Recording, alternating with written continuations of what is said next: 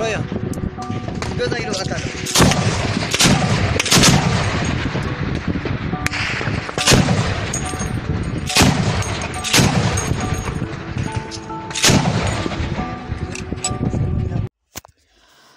For Uganda People's Defense Forces UPDF soldiers who escaped the May 26th Al Shabaab onslaught on their base in Somalia and lost contact with comrades in arms say they survived for six days by drinking their own urine.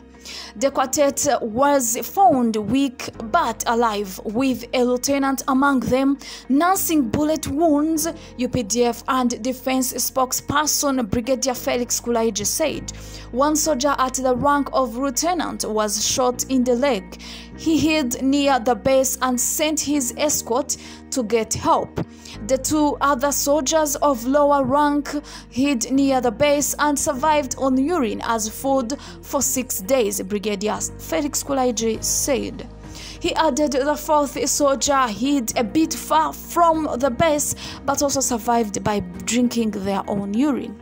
Hallowing details of the 20, of the May 26th attack, in which President Museveni, the commander-in-chief, said Uganda lost 54 soldiers, are emerging in bits after the army launched a counter-offensive and recaptured Bulomaria forward operating base. UPDF's highest-ranked officer at the base posthumously identified as Lieutenant Colonel Edward Nyololo from Arua reportedly shot himself dead when it was imminent Al Shabaab was taking him as a prisoner of war. The army, without specifying the day, said bodies of the fallen soldiers will be flown home this week. The losses suffered when Al Shabaab fighters overran the Bulo Maria Fob was the worst single incident of the UPDF foreign assignments and the worst since it first deployed in Somalia in March 2007.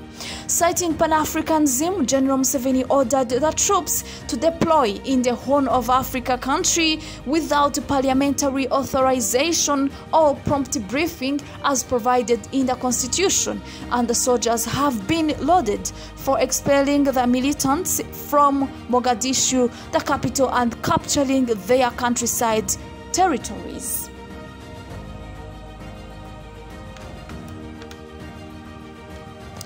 The May 26th incident has reignited the debate at home, including proposals by four-time presidential challenger and former Museveni's Bush-time pro personal physician Dr. Kizza Besigye and Mr. Mathias Mpuuga, the leader of the opposition in parliament, that UPDF has overstayed in its welcome in Somalia and its soldiers should, should withdraw to prevent battle-held losses from overshadowing gains over the past 16 years. May their souls rest in peace and thank you so much for watching.